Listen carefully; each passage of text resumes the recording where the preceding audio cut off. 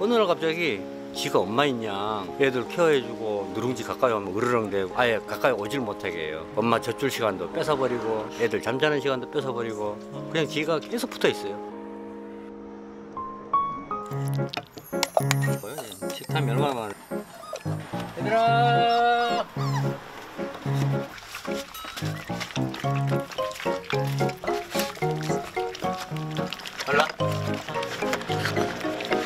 야 이거 먹어.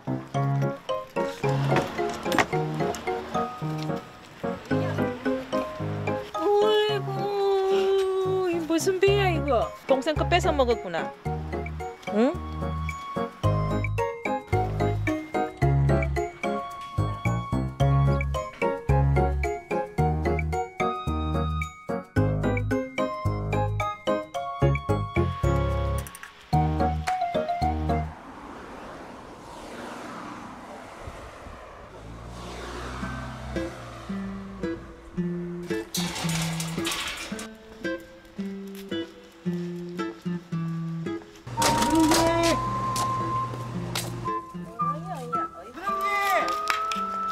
집에 가자 이리 와 이제 들어가야지 이제 들어가야지 야 안 들어갖고 와?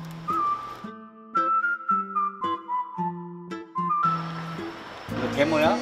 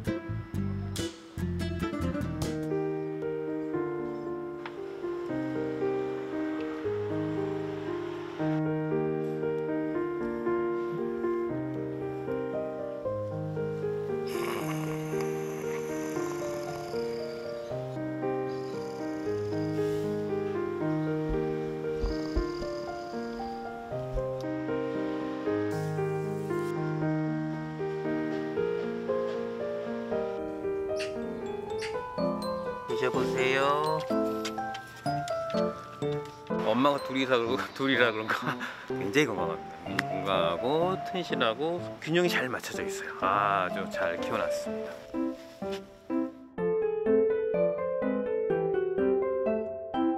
뭐 티는 안 나는데 만져보면 유선이 좀 이렇게 조성돼 있어요. 그 얘기는 지금 아이 그 젖에 어머. 짜니까 좀 젖이 나오죠. 네네 일단 상상의 임신이라고 표현을 하는데요. 꼬물꼬물한 이 아이들을 다 자기 아이라고 생각하는 생각을 하는 거예요. 정말 진심을 다해 키우는 거죠. 이건 진심이에요. 와. 진심을 내서 저 아이들은 내 아이라고 생각을 하는 상태라고 보셔야죠. 저 애기들 저렇게 감쌌을 때는 이런 이유가 있을 줄은 꿈에도 상상도 못 해봤고 좀 놀랍습니다 진짜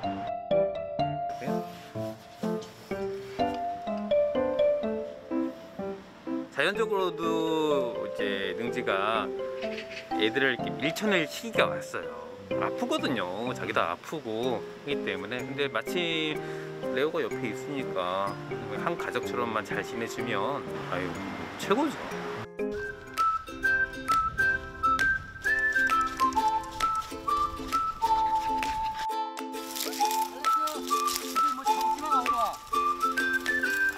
능지 뭐 큰 바람은 없고요. 지금처럼만 쭉 이렇게 사이좋게 안 싸우고 그렇게 지내주면 저희로서야 뭐 최고죠 뭐